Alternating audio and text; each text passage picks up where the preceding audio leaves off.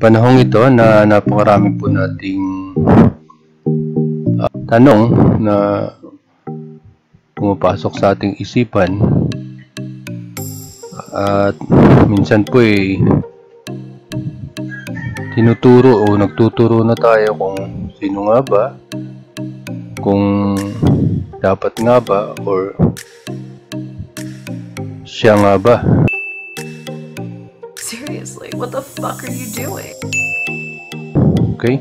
So, kadalasan po, sa, lalo na sa nangyayari sa ngayon na meron panahon, may, meron po tayong kinakaharap na na matinding problema sa ating bansa. Hindi lamang sa ating bansa, kundi sa buong mundo. Yung COVID-19 nga po, yung sakit na kumakalat sa buong mundo. Okay? So, ito yung ngayon yung mga nagiging problema natin. O pwede po tayong ituro. Diba, ito po, pwede tayong ituro ng mga tao na No! God, please, no! No! No! tayo po yung may gawa. Or po pwede rin naman po na turo ka na maging leader ng ating bayan sa mga susunod na henerasyon pagkatapos ng ating mahal na presidente dahil malapit na naman pong matapos ang kanyang termino. No! God, please, no! No! No! Yan. So marami pong nagtuturoan ngayon, marami pong tinuturo or sinisisi ang tao sa mga nangyayari. Or pwedeng sila po yung maging next na mamamahala sa ating bayan. What? No? Yan.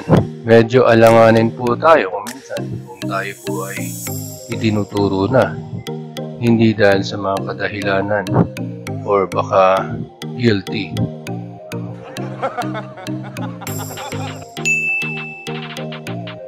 Oh my God! Okay? Ito talaga pong siya mismo itinuturo na merong dahilan ng lahat. At sa palagay ko po ay Paano masabi? Tinatanong ko nga eh, nagdodroga ka ba? Idaragtas hiyang-hiya siya sa kanyang ginawa. Yun po. Yan, yung mga, mga taong nag-iisip po kung sino po yung mga susunod or yung susunod na magiging leader ng ating. Okay? Sino yung mga taong mamamahala or maglilingkod sa, sa, sa, sa ating bansa? Pamumunuan ng ating mga kabataan sa mga susunod na henerasyon. May, may ilan po ako na mga babanggitin pero. Ito po ay ah, sariling opinion ko lamang po.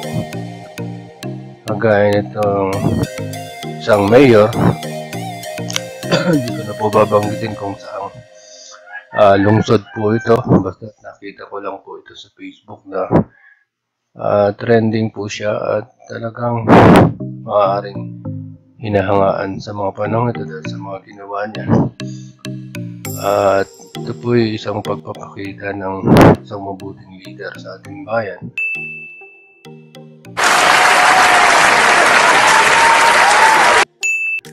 Pero ano man po yung mga adhikain nila, sila po yung nakakabatid noon. Okay po. Ayan. Siguro naman po lahat karamihan po ay nakakakilala sa taong ito na ah, sikat ang kanyang pamilya, ang kanyang mga magulang. Pero nung pong siya'y nagdesisyon kumandit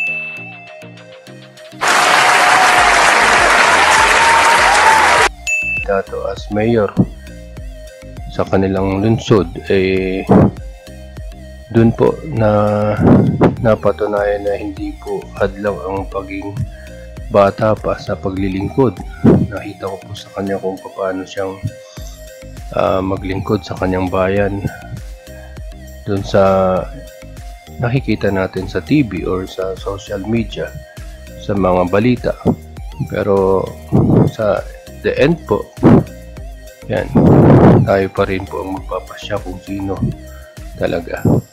May mga batayan lamang po tayo pero deep inside, hindi po natin alam kung anong mga plano ng ng mga politikong ito.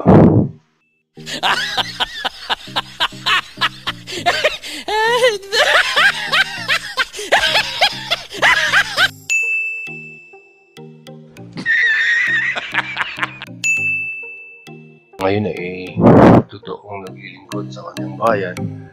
Kaya yan, nakakabilib lamang po na ay siya tunay na naglilingkod sa kanyang bayan. Okay po. Ito po ang pinaka talagang nakakabilib sa lahat. Lahat ng mga nakikita nating mga politiko sa ngayon, at tuwing magsasalita po ito, eh nadadama natin yung buong puso niyang paglilingkod sa ating bayan. At kung luluobin ng Panginoon sa mga darating pa na panahon ay pwede po talaga na maging leader ng bansa natin. Hindi na po ako magbabanggit ng mga pangalan dahil kilala naman po natin itong mga taong ito. At talagang tunay po na siya'y nais na magbago ang Maynila. Gusto niya na maging sibilisado, kagalang-galang ang mamamayang Maynila. Yun po ang hangarin niya na nakikita ko po sa kanya. At ito naman po, say, yan. Ito ngayon po yung trending din ngayon na kapagtataka lamang no, na sa kabila ng kanyang mga ginagawa na pagtulong sa pag-ayo, pagtulong na masuportahan ng ating mga kababayan ay may mga tao pa rin na nagnanais na ibagsak siya. Kasi lagi naman niyang sinasabi din na hindi naman niya, wala naman siyang plano na tumakbo o maging politiko. Ang nais lang na eh, matulungan ng kanyang mga kababayan. Pero sa bandang huli siya lang din po ang nakakaalam ng kung ano man po talaga ang kanyang hangarin. Okay? At yung mga napabalitaan po na or na ibalita or na nakita na siya ay dinala sa NBI o dahil doon sa mga kaso niya, siya lang po. Ang mahalaga, eh marami po siyang natulungang mga nagugutom sa panahong ito. Yun po yung mahalaga sa ngayon. At kung ano man po yung mga naging kasalanan niya sa batas, eh siya na po ang mananagot noon. Sa sa ngayon po, ay nakikita ko sa kanya yung buong puso niyang pagtulong. Ayan, ito po, isa po sa hinahanga kong senador. Isang yung dito sa kanya makikita mo yung kanyang katapatan sa paglilingkod sa ating bayan, yung pagmamalasakit niya, yung pagmamahal niya sa ating bayan. Yan po yung mga isa sa bunga ng matapat na paglilingkod ng ating Pangulo. Kumbaga, nahahawa, nakakahawa rin po talaga yung kabutihan ng puso.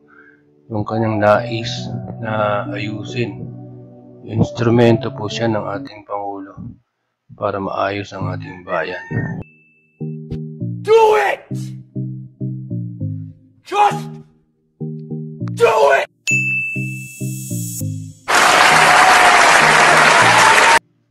Palakpakan mo muna po natin ito. Yan. Si Idol Rap. Do it!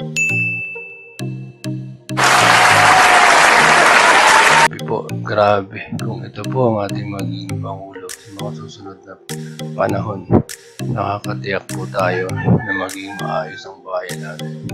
Pero, syempre po, ang kapasyang yan ay nasa sa kanya pa rin at sa ating Diyos kung siya itatalaga na maging next president ng ating bayan.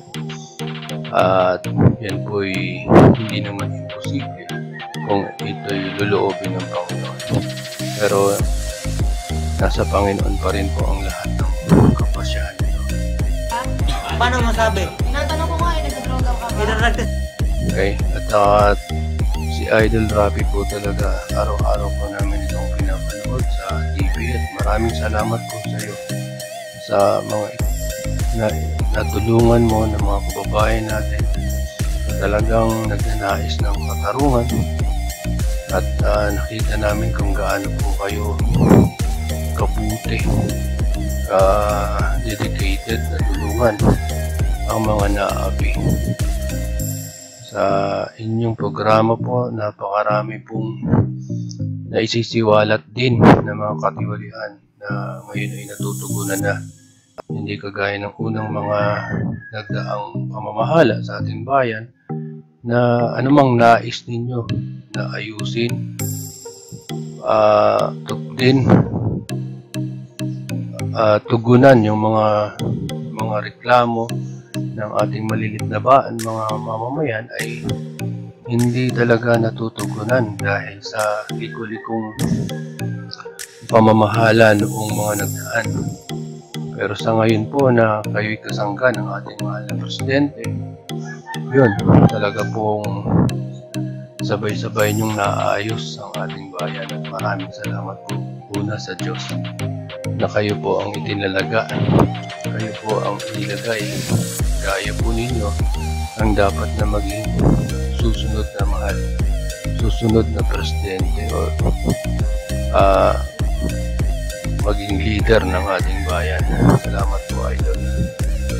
Ito ay sarili ko lamang pong opinion at pagkangat sa inyong tapang na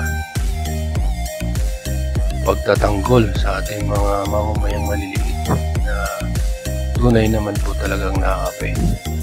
At kita nakikita po namin sa inyong mga programa kung paano po talaga kayo kumilos, paano inyong ipagtanggol yung tama.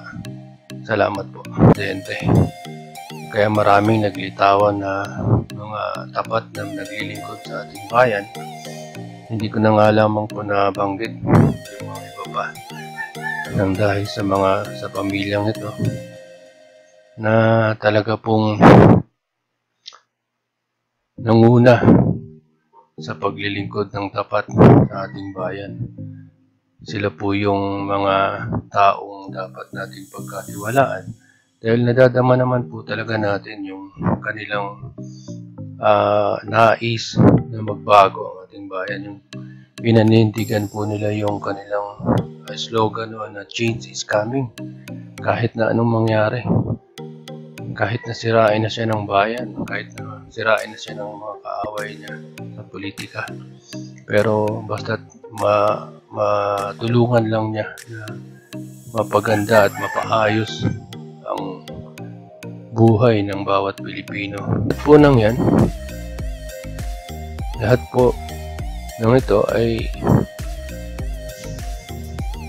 yung paglilingkod na tapat yung pagsasaayos ng bayan, yung mga taong lumitaw na may pusong paglilingkod ng pagsasaayos ng tama ay dahil sa taong ito, dahil sa ating Pangulo.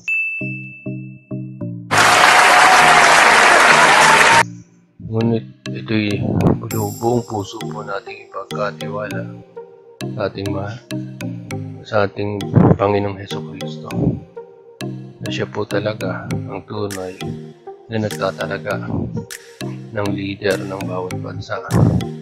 Ngayon sa mga susunod po na mga